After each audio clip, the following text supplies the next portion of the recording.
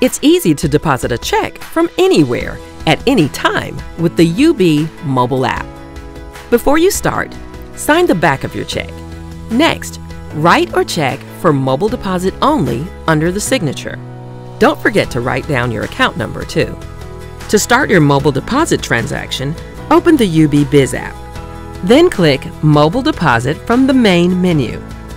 Select the account you would like to deposit into. Enter the amount you want to deposit. Center the check image in the camera window. Take a picture of the front and back of your check. It's that easy.